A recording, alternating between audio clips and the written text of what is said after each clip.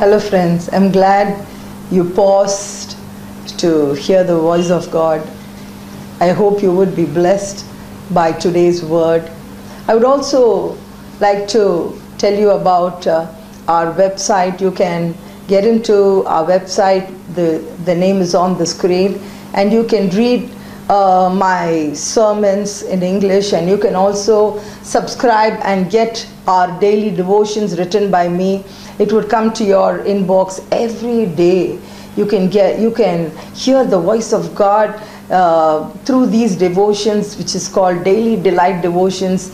Every day you can subscribe. It's user friendly, and you can also get into my personal blog and get to read my uh, articles every day. And you can also follow me on Facebook. Uh, if you diligently hear the voice of God, if you are serious today, I'm sure you can hear the prophetic voice of God through His word. God bless you. Hi, friends. I have a very important teaching for you today, so I want you to really uh, keep your Bible open and then listen to my teaching today.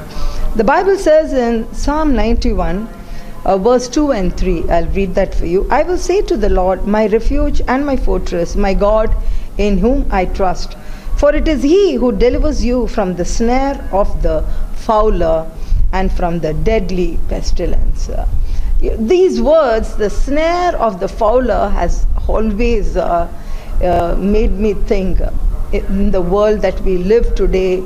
And uh, having moved with a lot of youth during my ministry, because I was involved in the youth ministry, and I really know what the, what the Bible says about the snares of the fowler. The, the other there's another translation which says the snares of the trapper the moment we get uh, saved, when you know, youngsters get saved, there's a lot of excitement there when they go to a meeting, a revival meeting, or a worship festival, or whatever, or when they read a testimony, they surrender their hearts to God. And there's so much of excitement, and sometimes uh, the anointing which was there in that particular meeting where you got saved, and when you heard a particular message from an anointed preacher, that anointing stays with you for a while, maybe even for a week.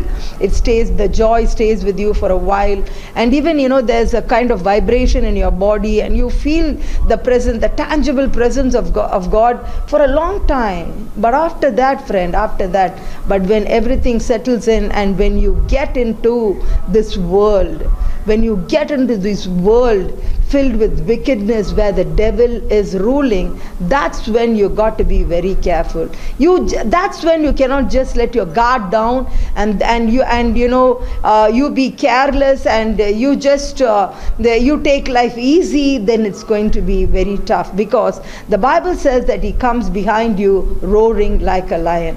When he he tries roaring like a lion and when he fails there and when he finds you you know really smart then he comes to you like he comes to, comes to in the garden of eden like a snake.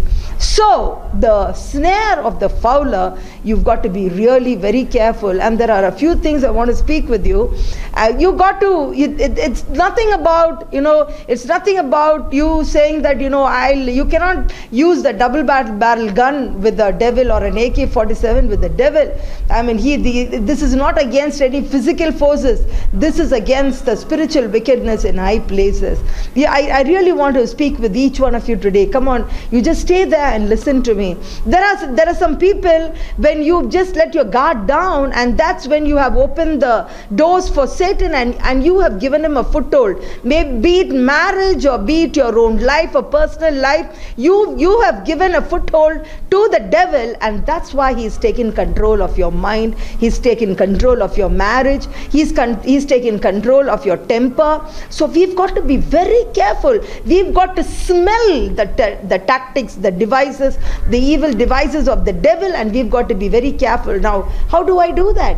Now if you are careless in reading the bible and if you are careless in having a regular commun- communion with god then that's where you fail to you know really identify the schemes of the devil recently uh, last year when we were uh, getting ready for a particular uh, meeting just when uh, when we it, we just had an, a week for the meeting and the and the and the the week before that we started putting up banners and we started distributing gospel tracts and we put a real big banner with all the the photographs of the speakers. And we were doing this with a lot of prayers okay? We, do, we were doing this with a lot of fasting and prayers. And that particular sunday uh, uh, we, uh, we were giving the gospel tracts to the church people just when the service was you know on and it was not over. I was speaking to the people the the, the people in the neighboring locality. They had uh, uh, called the police. They had called the local leaders and we are living in the outskirts of uh, hyderabad and uh, there was a lot of commotion that day and they said that we should not have any kind of you know uh, we should close everything and actually they wanted to take away all our music instruments but then but god protected us and uh, what we did was uh, we had we held the meeting in another function hall. Okay. Now that that was that was not the only story uh, th- this happened when we were when we were uh, planning for bigger meetings you know anointed camps and all that. When we were conducting those kind of uh, meetings these kind of uh, things were the, the, attacks of the enemy were there. This is how for the past nearly 7 years we've been uh, running our church in the midst of terrible storms and trials and persecutions and humiliations and and I don't know what or not this is how we've been. And I think you know we have learned to really smell the enemy, the smell the plans of the enemy, and survive in the midst of storm. And God has really strengthened us, I should say, you know, through these afflictions and all that. God has strengthened us, and I'm able to sit here and speak with you about all this. So the the, the next year, we, because of all the problems in the previous year, we started praying for this for God's strategy regarding everything. When the people of Israel, when they were going to uh, deal with with with a wall like Jericho and with with the people like the Jericho people, God gave them a real plan, and it was Joshua who had waited upon God. So in a, when a, when the enemy attacks you, God keeps a real uh, servant of God for you, a church leader, whatever. God gives you protection and God gives you advisors through them. So your spiritual ears have to be open. You cannot be careless and you cannot be proud. Okay, when God sends sends you, when God sends you an anointed person to speak with you, young people listen.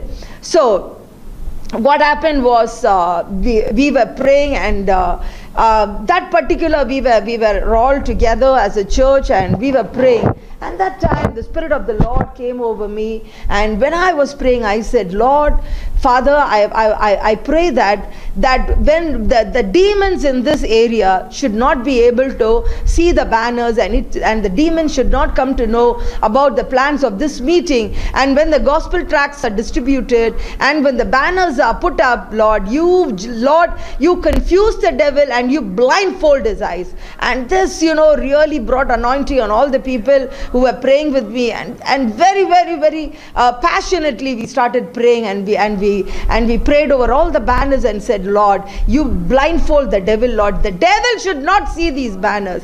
Friend, you know, that's what the prayer that we did. And we anointed every banner, we anointed and we, and the church members prayed of the gospel tracts and we distributed. Now, what I'm trying to say is, it's not by power, it's not by might, but by the Holy Spirit. Hallelujah. You've got to be very careful. When you pray like this, my, my dear friend, my dear, um, my dear sister, I'm speaking with you. I, I, I have, I get a lot of uh, um, messages, emails about uh, about uh, about about the children, protection of children. The parents write to me. I mean, there's there's nothing to be talked about. You got to pray. The, this kind of battle should be done on your knees. And as a servant of God, I'm giving you advices and and I'm giving you the ways that you should do it. The battle should be done by you. You got to protect your husband's eyes from the from the devil's schemes.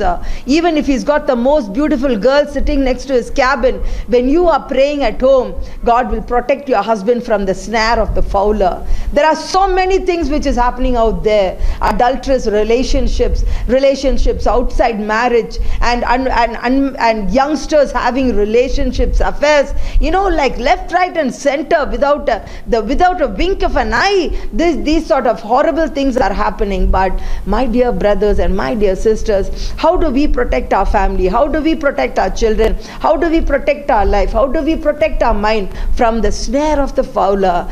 We've got to have a close relationship with God and we've got to hear the voice of God. Listen to me in the second book of Kings, chapter 6, verse 8. We see about, we, we read about King of uh, Syria who kept, you know, attacking the people of Israel. And this guy, you know, had a big army and he was attacking the people of Israel. But the people of Israel had a big God. Give God a mighty hand of praise. You, you, you, the enemy may be attacking you. Maybe you've got some neighbors who are picking up a quarrel with you. Maybe you've got a court case, and maybe, maybe you know you are on, you are in the, on the, you are doing the right things. Uh, but all kinds of false uh, accusations have been coming against you. Now, how do you, how do you know, you know, uh, how do you uh, meet all this? I'm speaking to someone out there. There's one girl, a Hindu girl, who said, uh, Sister, you know, the, uh, this property belongs to me, but the, the enemy is trying to take it away. And there's so much of things which is happening, I really don't know what to do. I just told her one thing. I said, Just surrender everything to God and keep praying. Keep praying. Surrender your property to God and keep praying. Don't, don't uh, fight with it. Yes, you can do all the necessary uh, legal things, do all the ne- necessary legal things if you ought to do but but final judgment is, uh, is given by god. Amen. Hallelujah. Are you listening to me? Are you listening to me? Are you listening to me? Just just pause and just think uh, just you've been too busy. You've been running you've been running you know around looking at people to help you. But i want to tell you your help comes from god you know, this guy, this king, Syria king, he was trying to attack the people of Israel. But God sent his beloved son Elisha, and he sent them, and he was telling him, and he was directly talking to Elisha and saying, Go and tell king, the king of Israel that this fellow, this king of Israel, he's having a, putting a very wicked strategy, and he's going to attack them in this place north and that place south. So whenever this fellow, this king of Syria, he was making plans, but it was squashed by God, and and God was protecting the people of Israel. The Bible says in 2 Kings chapter 6, uh, if you read from verse 8, 9, 10, 11, 12, if you're free, just after after you uh, after I close this message, just don't go, you know, don't uh, take your popcorn and go and and just go go away carelessly or whistle and go carelessly chewing the gum. No, if you want a remedy for your life, take the Bible and just read. What did sister say? What is this uh, she's talking about about Elisha? When you give attention to like like that god will give attention to you. Give attention to the word of god. Don't be careless. Don't be now sitting and sitting and then carelessly listening and then waiting for a prophetic word. Don't just wait to hear some prophecies prophet when, when you don't have to wait for a prophetic word when you are a child of god the prophetic word will come to you wherever you you are. You don't have to bend your head and go to every tom dick and harry to have a prophecy. You will get you will be conned. Be very careful. So god used elisha and and squashed all the plans of the enemy. So this guy syria the syria king was very angry and he asked his people what? Do i have a my house is, the, is, is there a spy here who's doing this i think i have a spy in my house and that's when one of the servants he said said listen to me boss it's not, we are not spying, but there's one man called Elisha. Even if you plan inside your bedroom, he knows it. That's the kind of relationship he has with God. And then the Syria, the king of Syria, he plans uh, and he brings his chariots and horses to attack Elisha. And uh, Elisha's servant, when he comes early in the morning, he looks at the big army of the enemy, the chariots and horses which has come against. Listen, just listen. To, uh, to attack one man, that fellow, the Syrian king, has sent horses and chariots. That's please, please listen to me. The devil is afraid of you. You are so afraid of the devil, but I want to tell you something. The devil is afraid of you. An anointed man, a double when he, when you have the double portion of anointing on you, the devil is actually afraid of you. So you don't have to be afraid of the devil. So he, the the servant came and said, "Oh boss, look at the um, enemies that are waiting to kill you." So Elisha said a small prayer. He said, "Lord, open the eyes of my servant." And when God opened the eyes of uh, Elisha's servant, he saw the army, the chariots, the fire chariots of God, and he was encouraged. And then what happens next is something really, you know, really amazing. God, a, Elisha says another prayer. He says, Lord, you just blindfold all these enemies, just confuse them, bring confusion in there, uh, blind them and bring confusion, Lord. And when he, when God brings confusion, so they didn't have to have a big war. Elisha just directs them in a different way. And and you know he does it very wisely. So we've got to have really godly wisdom you know there's no there's no use you know going and fighting with your husband or going going and head headstrong you know having a confrontation like that. Wisely handle the issue. Wisely handle the issue. Amen? I'm, I'm, I, I just want to uh, you know finish this message by giving um, certain things uh, the enemy wants to kill steal kill and destroy you. That's what the hunter wants to do. And the hunter is very skillful and he's going and he wants and he's going to pursue the whatever he wants to kill he'll pursue it and he will he'll sharply see that you know he he kills it. And that's his only aim. The aim of the hunter is to kill whatever he is pursuing. So he got to be very careful and he uses you know cunning tricks he uses. So we've got to be very careful. And uh, what are the snares of the enemy? What are what are what are the things that uh, you know the, the the enemy plans against you? He will he will attack your mind. He's not going to come with two horns he's going to come with wrong doctrines he's going to tell you hey it's okay if you don't go to church it's okay. It's okay. You can just sit down and watch the uh, go watch uh, uh, the sermon on, uh, through the e-church. You, you, just got a lot of internets now. You've got your iPad. You've got your iPhone. You just got to sit down in your house. You just wear your uh, shorts and uh, chew your gum and you know have your coffee and have your legs popped up on your table with no reverence and then you can just watch your worship. It's okay. It's okay. You don't have to just take a bus. You don't have to take your car and go to the church. You can just watch the service in the e-church. That's the that's the the lie of the enemy and then the next is he, he, he stops you from church that's it he stops you from fellowshipping with the, your, your uh, you know so uh, brothers and sisters where you get encouragement the church uh, church was meant for that and you have a spiritual father the pastor and the pastor's wife and the family don't judge them. Don't judge everybody and say they are like this and they are like that. Don't be judgmental. There are pastors with a father heart and there are churches which are like, you know, real, the real tabernacles of God. If you seek God, if you seek wholeheartedly, God will take you to the right place. So don't, don't keep judging and don't have a very uh, bitter attitude towards the things of God. And then those are the, the, the plans of the enemy. If you want to listen to me and set, your, set right your life. I leave it to you. These teachings are, are given by God to me to, to, uh, to correct his children and take them, and take them to the house of God. So you've been neglecting church for long, and that's the enemy's tactics. Maybe you are annoyed with someone inside the church.